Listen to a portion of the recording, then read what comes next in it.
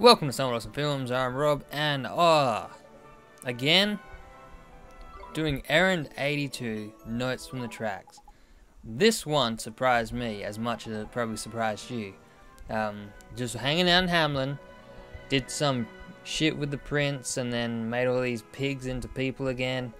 And then, of course, this, this chubby bastard here strolls along in the same clothes he's always wearing, probably filthy by now and then says, Hey man, I remember you. How would you like to go and find my diary again? So we go and do that because we're such good people and this guy is lazy as shit. What I don't get is he knows where it is every single time. He tells you where it is exactly. He says, This is where it is.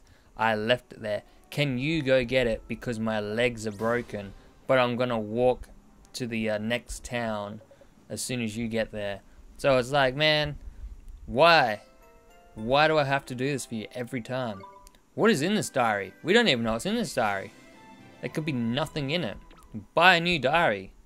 You have a lot of money. Instead of paying me to go get it, buy a new one and buy a pen. Dickhead.